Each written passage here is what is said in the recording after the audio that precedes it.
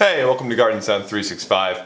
This is the show where I write music every day for a year. Today I'm messing with some new lighting. We got soft light right here, soft light right here, bright light right here. Definitely taking a note out of uh, Philip DeFranco's book and borrowing his uh, his lighting setup at least. So yeah, Phil, if you're watching, which you're probably not, but if you are, um, how's it going, man? Thanks for letting me borrow your lighting. Our sets are totally different because I'm in a studio and you're in your office, but you know, it's it's uh, something I looked at for about four years, and then I was like, you know what? I can do the same thing, and it would probably improve my show too. So here we are. I want to give a shout out to everybody for being so, for being such a good audience. I want to give a shout out to y'all for being such a good audience. I was a little bit nervous yesterday when I put out my video, thinking to myself, hmm, kind of worried these people won't get my humor. I don't know why I worried about that you guys are a great audience and you jumped right in there and thought it was funny, so perfect. So I'm gonna put out some more videos like that of me being a little bit outrageous and funny. So today we're gonna be talking about grooves. Grooves in Ableton Live. What are they? What can you use them for? I'm gonna build a song first, and when we get to the point where I'm starting to use a groove in the song, like on some drums, I'm gonna pull the camera in and I'm gonna say, hey, here's a groove, here's what it does, and then that song I'm working on, I'll finish out, we'll do a time lapse, and that'll be today's music. Tomorrow is going to be a great episode. I'm doing a recomposed episode on Starboy by Daft Punk and The Weeknd. I'm not exactly sure what I'm going to do on Thursday. I might try to do another DIY video like I did last Thursday. Um, that seemed to go over pretty well. Friday, of course, is our fan submitted coffee time. If you haven't done so already, please take a moment to go to this pinned post on my Facebook page, which is just www.facebook.com slash gardnsound and make your post for your least favorite song of 2016. And on Friday, when we have fan coffee time, I'll review that song in my coffee time format and you'll get to see your name on the screen and that kind of thing. So it's kind of fun. Um, we've done it twice in a row. It was really popular and I'm looking forward to three times. I'm learning a lot of stuff with these videos that I never thought I would learn. I'm learning about lighting, and all sorts of stuff like video editing and how to how to film with the camera properly. Like like I said earlier, we're on manual mode now. We're not doing any any of that um, automatic focus and, and stuff. So learning all kinds of stuff I never thought I would learn with this project. So that's just some encouragement to those of you who are thinking about starting a project. It's not just about that project. You're gonna learn stuff doing things. You know, just by doing, you're gonna learn so many things you didn't even think about. I'm rambling on and talking too much, so I'm gonna get started on today's beat, and you'll catch up with me once I get to some grooves.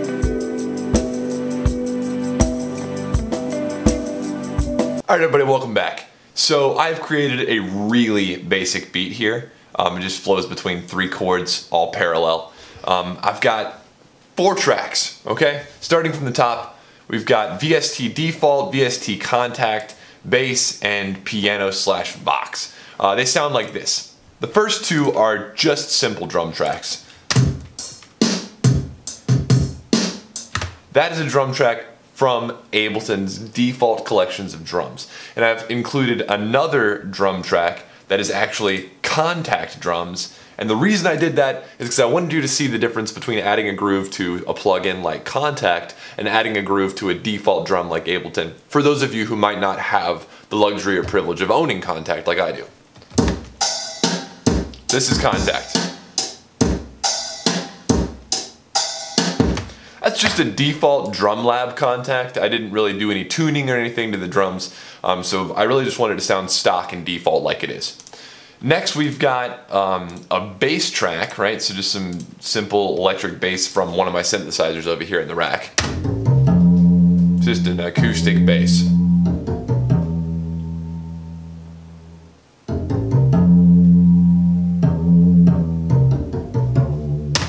Not that great, but it works. So the next thing we have is uh, just some piano slash vocal. Um, it's a it's a poly.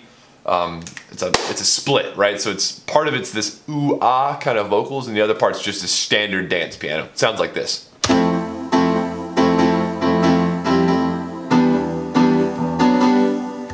I was feeling kind of N64 today, so that probably sounds like a video game from the 90s. Anyway, all together with the default drums, it sounds like this.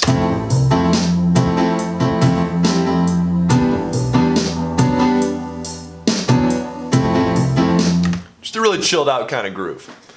All right, let's look at what happens when we start to apply groove to the drum track. So to apply groove to a MIDI track, you actually have to select the clip.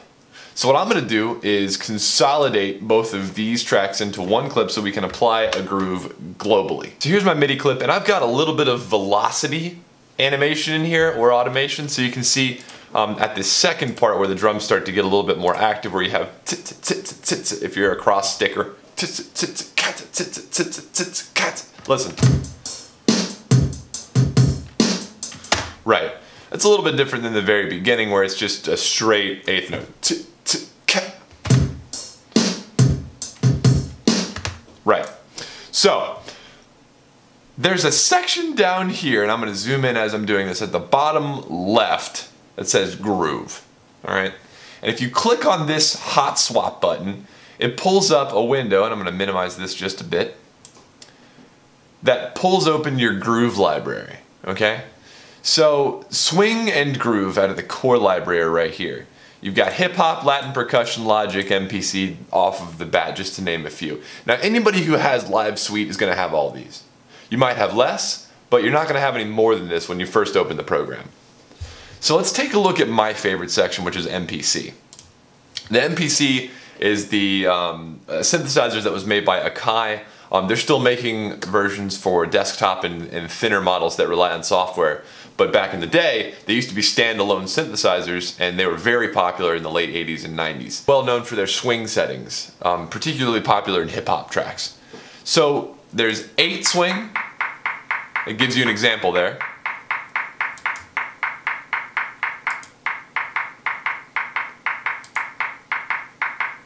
And as we start to click down this list, the number is increasing, right? So from 50 to 64, etc. That's the percentage of swing that you're getting in the groove.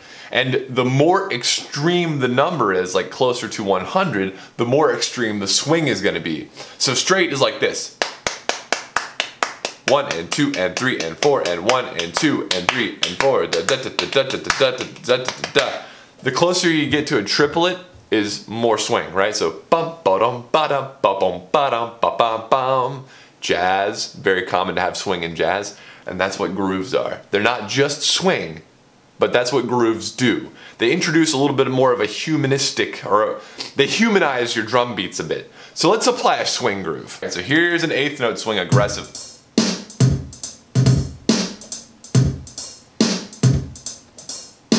you can really hear a difference in that one. Pa pa da ta pa da pa pa pa da ta pa. Listen. Compared to no groove. Big difference. So maybe we should go with an eighth note swing, but not as aggressive. Let's start with 50 and try that. Let's go up a little bit. How about 63? Too much. How about 60? Or sorry, 55. Too much. How about 53? I like that. Now our drums sound a bit more human. So now, once we've got our groove selected, what we want to do is click the commit button right below that. A lot of people miss this step. Now what that does is it swings out these notes just a teeny bit. Do you see how they're not all centered up anymore? Beforehand, let me click Control Z. Everything's lined up properly. Now let me click commit again and watch how it sort of skews the, skews the notes a little bit. Boom. So check it out. It takes your MIDI data and just makes it a little bit off. And the reason for that is because MIDI is perfect. All the notes to fall exactly where you tell them to because computers don't make mistakes. When a human drummer is on the drums, no matter how good the drummer is, they're going to be just slightly off because we're all made of organic tissues and we don't function like ones and zeros. So why should your drums sound like that? Here's the same thing, and we're going to apply the same groove to the Kontakt drums, just so you can hear the difference between the two. That's no groove. And here's with our 8th swing 53 that we liked from the last one.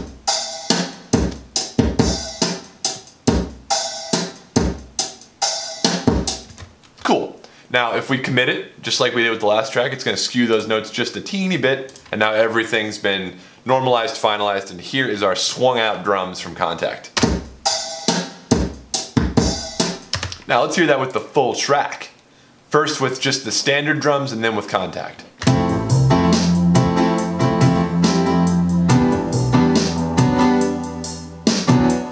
All right, now with Kontakt.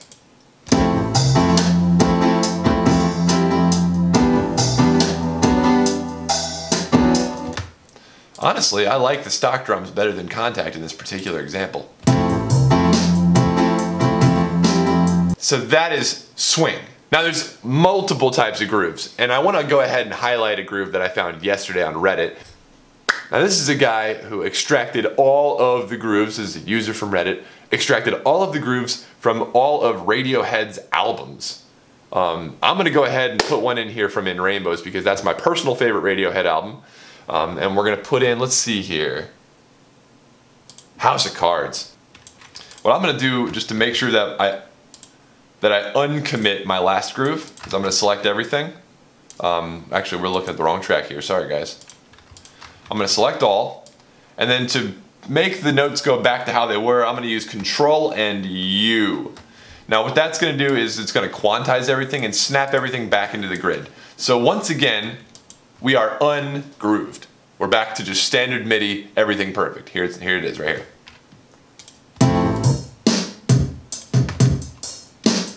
Very square. In fact, it doesn't sound natural anymore now that we've played with the groove enough. So I'm going to go back to groove and I'm going to grab the one from House of Cards. This is Radiohead's groove from House of Cards. And check this out.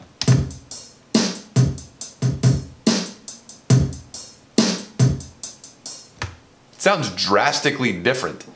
And this groove, again, let me turn it off. I'll turn on the metronome so you can hear it.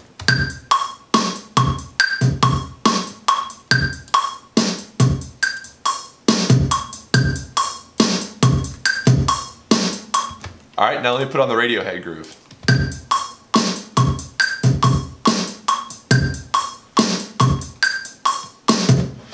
Now let me put on a couple of different ones here.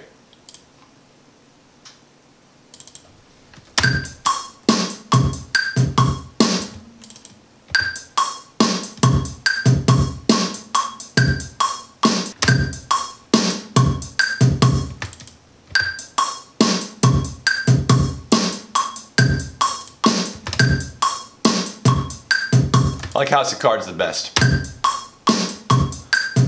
Cool. All right, so we've got our groove applied. Here's what it sounds like with the full track.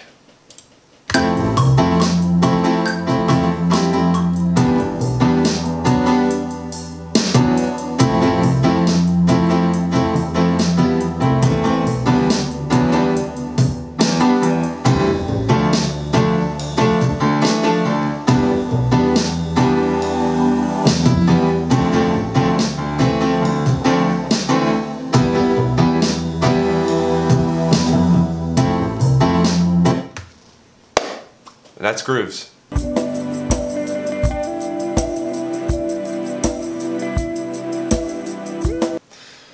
Alright everybody, well, that's it for me today.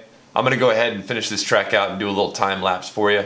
So don't forget to click here if you want to hear today's song and see the time lapse, and click here if you want to see yesterday's episode, which was kind of silly but still accurate.